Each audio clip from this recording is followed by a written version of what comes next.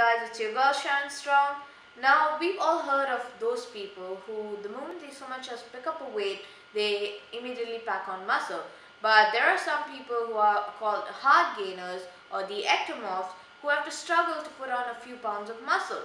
Now, this video is for you hard gainers out there and I'm going to share with you all a couple of tips on how you can train optimally and see the results that you want.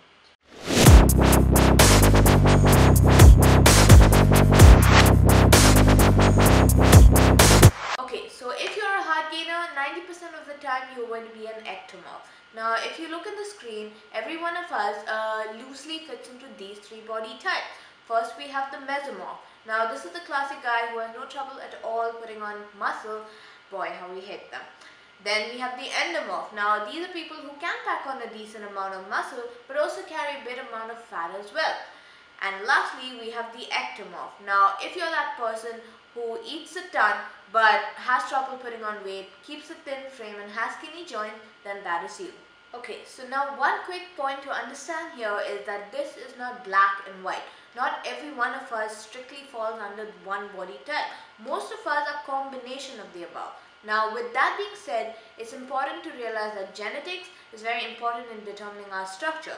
So it's up to us to train in a way that fully realizes our genetic potential.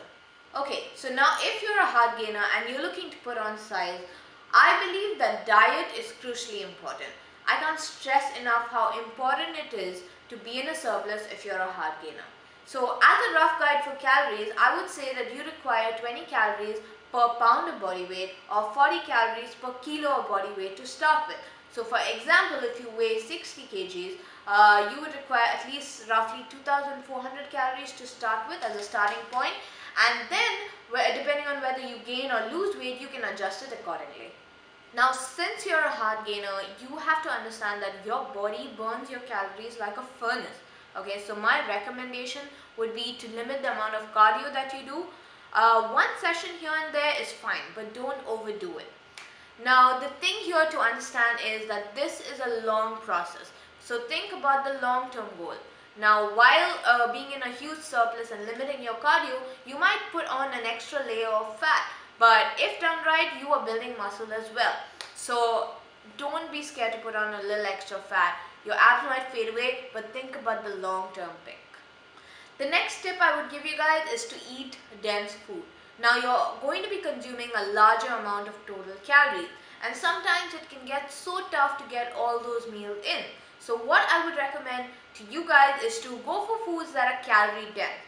Foods that will not stuff you up but have a good amount of calories in them.